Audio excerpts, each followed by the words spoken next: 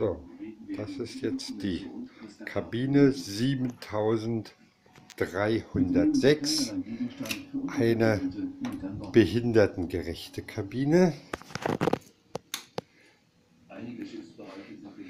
Große Dusche. Bitte beachten Sie das Verbot und betreten Sie diese Bereiche nicht.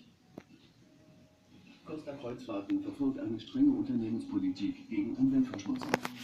Bitte werfen Sie nichts ins Meer. Für Ihre Aufmerksamkeit. Bitte denken Sie daran,